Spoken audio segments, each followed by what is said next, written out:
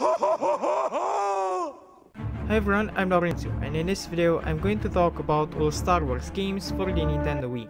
Star Wars The Force Unleashed still remains an amazing game, even on the Wii. The Wii version is the same as the PSP version, but upscaled. Okay, I guess the PSP version is actually the Wii version but downscaled. Anyway, the Wii and the PSP are the same game. And the reason why I distinguish them is because what you get on PS3 or PC isn't the same as what you get on the PSP or Wii. The Wii and PSP version has many things cut out, especially the epic scene where he takes down the Star Destroyer. But even if some stuff was cut out, the game still remains as good. You still have those sick force abilities and destructive environments, you can customize your lightsaber, and you get to do some sick stuff with the force, like shooting lightning or choking people and throwing them around with your force abilities. You fight armies on your own and engage in Jedi battles. Darth Vader is present in the story too, and you can even play some segments with him, actually just the beginning. You, you play the beginning with Darth Vader, and the game is fantastic. The controls feel great too, surprisingly they don't feel weird, you swing your Wiimote for lightsaber attacks and you use your nunchuck for force attacks.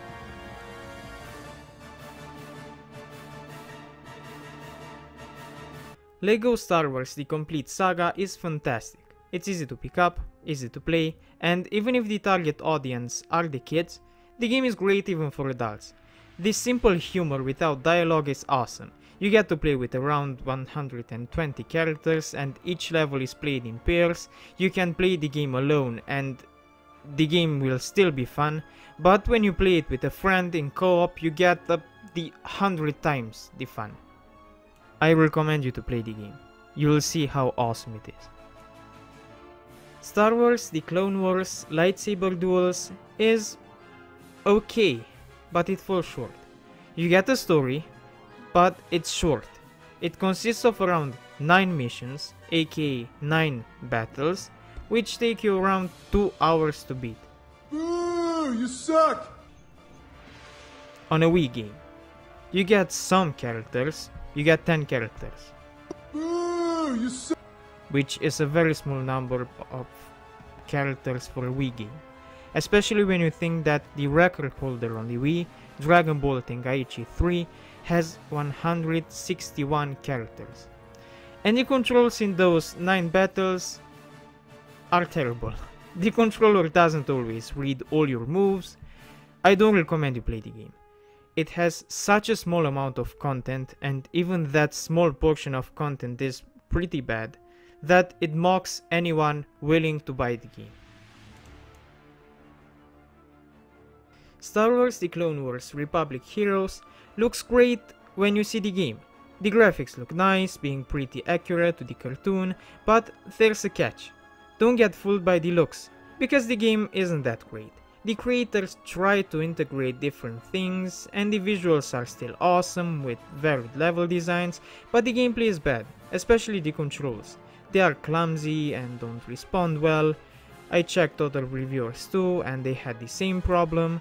The buttons seem not to respond every time, and that makes platforming, fighting and everything else in the game a chore.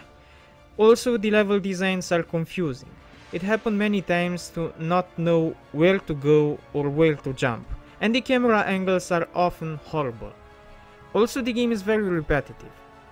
What you do in the first part of the game, you will do the same till you finish the game, mostly. Star Wars The Force Unleashed 2 isn't the same great game the first installment was. They managed to butcher what could have probably been an epic sub-franchise of the Star Wars franchise. The controls were okay in the first one, but here the devs said that they tweaked the controls for more immersion, and the result isn't great. Also, what was awesome in the first one is missing here. In the first one you felt powerful, whereas here lightning barely does any damage, you constantly receive a lot of damage. When you get damaged, you get flung across the map. The platforming sections feel tedious because of the controls and camera. The game is okay if you never played the first one, but considering how good the first one was, this one is rather disappointing. But don't get me wrong, even if I'm harsh on the game, that doesn't mean that the game isn't good.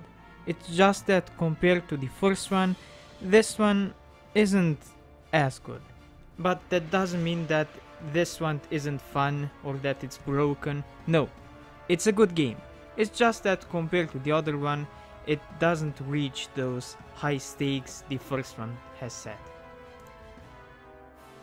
LEGO Star Wars 3 The Clone Wars isn't included in the complete saga.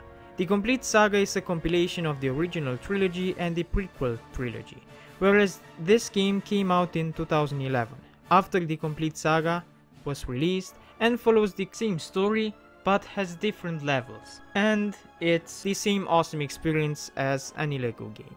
With lots of humor, lots of playable characters and different levels and story missions to play and replay, it's an awesome game, just like any LEGO game. Okay, so this was the video. If you liked it, please hit the like button and subscribe. If you want to support me in my pursuit to review as many video games as possible, click the join button and choose one of the perks. You have the link to the join button in the description. Also you can follow me on Twitch, Instagram or Discord if you want. And if you want to see another video of mine, just wait till I stop talking and there will be thumbnails of other videos I've made. Thanks for watching.